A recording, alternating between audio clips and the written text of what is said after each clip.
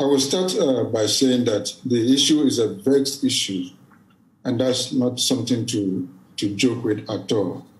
Uh, if you have followed the discussion, and let us also acknowledge that Ghana is not the first country to be discussing this.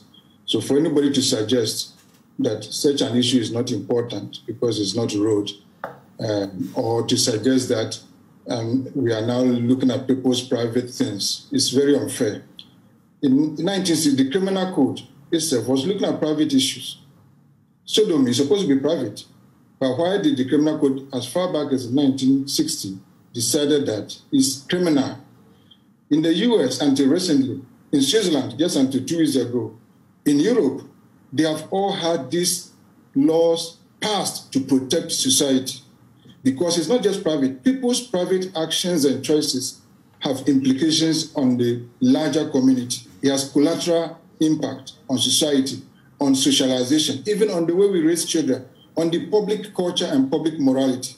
So unless we are saying that, well, US, Switzerland, Britain, they just became civilized, they just became wiser, and for all these years that they have existed, for hundreds of years of democracy, they were foolish to impose laws.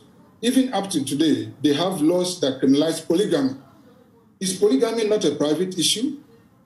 Why would they allow people to just marry how many wives they want to have? It's against their culture.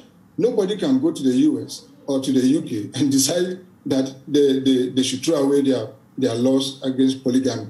So this is the matter that we must look at.